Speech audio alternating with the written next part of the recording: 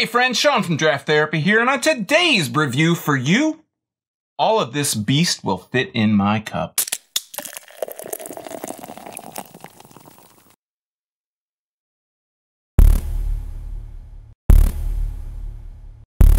S'more Beast in my cup is a 10% Imperial Stout from Pigeon Hill Brewing Company in Muskegon, Michigan. Pigeon Hill has had some pretty epic Black Friday releases, and thankfully for us, the last couple releases have been making their way onto store shelves for us to enjoy too. Now, this beer, S'more Beast in My Cup, along with the newly renamed Cinnagram, which used to be called, uh, I think it was your grandmother on French Toast, were Black Friday releases for 2018. This can, along with a bunch, a bunch of White Flame beer, was sent to me by a friend of the channel, DJ Plender.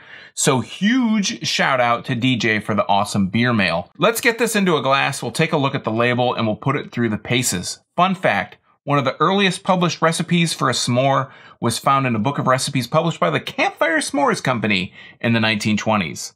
So on the can here, there is a lot going on. Uh, I'm going to start on the side because that's the side I picked up first. It says brewed uh, and canned in Muskegon, Michigan by Pigeon Hill Brewing Company, in case you didn't know. On the top, it says a one of a kind, delectable, delectable limited release. And it says, did you know this is, it's 10% ABV and has a 10 cent deposit. Across the front, it says S'more Beast in my cup.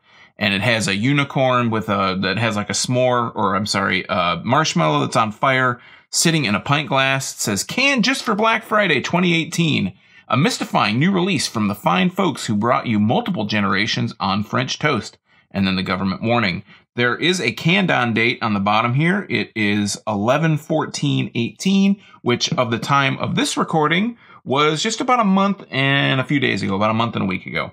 So yeah, that's what we got going on. I'm going to go ahead and grab my, I have an Ascension glass here. It's a, a nice little kind of goblet style glass here. And we're going to go ahead and open this up and get a nose on it. See. Sometimes you can pick up some scent kind of sitting here with it open. Lot, wow, lots of vanilla. Getting some graham cracker in there too.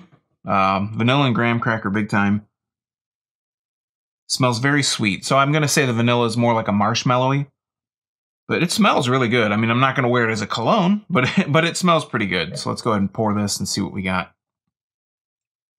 Pretty dark, but it's looking kind of thin out of the actual can here. A little bit more aggressive on the pour here, see if we can get some head to bubble up there. Let's set that right there. Let's get a better nose here. Uh, actually, we'll take a look at it. Very dark, uh, very minimal head. Uh, I'm going to say that's not from my pour because I kind of got pretty aggressive on the tail there. And uh, head's pretty thin. It's about a half a finger, maybe. Uh, the color of it is very dark. It's not, it, it, poured a little bit thinner than it's actually sitting here in the glass. Uh, what I usually do to look at for color is I kind of look at the bottom maybe third of a glass and see, because sometimes when it, as it gets thinner in a glass, you can kind of see a color a little bit. It does have a, a very light color, it looks kind of like a muddy brown, maybe a little bit darker than that. But on the top, it's definitely dark. Uh, definitely not much color, much light getting through there. So let's get a better nose here in the glass.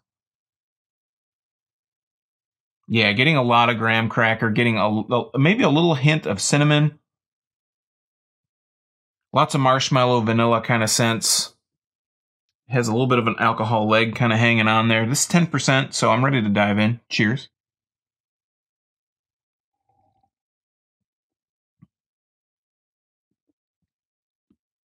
Wow, a lot more cinnamon than I was expecting. I got a little bit of a cinnamon taste on the nose. It's very sweet. It has like a, uh, as you would expect, it's it's more beast in my cup, right? You would think it's going to be pretty pretty light, pretty sweet. It does have a thinner kind of mouthfeel at 10%. I was expecting a little bit thicker than this.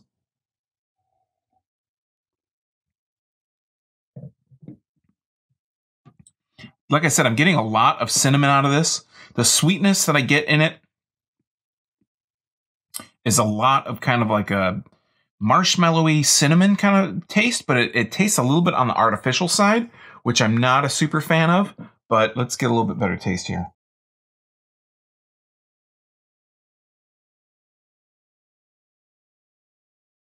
Yeah, on the front here, getting a lot of the marshmallow, vanilla kind of taste, maybe a hint of graham cracker.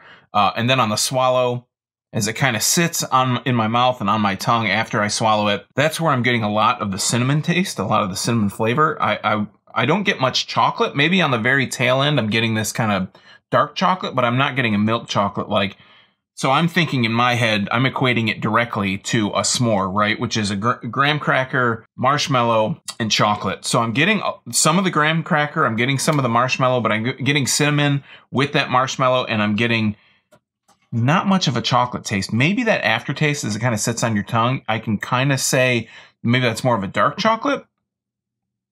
It definitely has a lot of cinnamon. Again, if this was a Pee Wee's Playhouse episode, word of the episode would be cinnamon. The the word of the day for this episode would be cinnamon because that's what I'm picking up a lot on the tail end. I almost wonder if this is really an offshoot or some kind of variety or version of Cinnagram or your grandmother on French toast. I think that's what Cinnagram is now. You know, Graham makes me think that. So this is like a, a good dessert beer, but I think that for me personally, I just pick up on that artificialness, that artificial sweetness taste to it. Uh, like artificial sugar kind of taste, like a sweetener, like a ste- uh, stevia or like an aspartame or some kind of really kind of rough um, artificial sweetened taste. And that just kind of sets it off for me. That's kind of like, it's kind of tainting the whole rest of the experience because I, I like the sweetness of it, but that kind of aftertaste that it leaves on my tongue just kind of, like I said, it, it tastes artificial to me. But the rest of it, I love the way it smells. I love that I'm getting the the vanilla and the marshmallow and the graham cracker. I think graham cracker and a stout does really well. Like it, it can do a whole lot of stuff for you. It can do a lot of wonders to kind of push the taste forward. As I'm kind of looking at it through the glass here, I'm I see that it is a little lighter on the edge here. Yeah, but for me, when I see s'more, I take that kind of literal, and I would like to get a little bit more of the graham cracker and a lot more of the chocolate. I think if they do another version of this, I know they say it's it was brewed especially for the Black Friday or canned at least for the Black Friday release. If I could see on the next release, if there is one, more of the chocolate, more of the graham cracker, and keep the kind of vanilla and the the cinnamon and the marshmallow kind of flavors where they are, but definitely amp up the graham cracker and definitely amp up the chocolate. All right, friends, that is S'more Beast in my cup from Pigeon Hill Brewing Company. If you head to the tap room let them know that you saw their beer right here. Now, were you able to get your hands on this or maybe the latest um, version of Cinnagram? Let me know what you thought in the comments down below this video and stay tuned to Draft Therapy for more Michigan beer reviews and videos twice a week, every week. You can also find links to some merch, uh, my social media, all that good stuff in the description below this video. So until next time, I'm Sean from Draft Therapy. Thanks for stopping by. And remember, drink craft beer, support your local breweries wherever they are. And most importantly, don't forget to treat yourself to a little draft therapy. Thanks for watching. Cheers.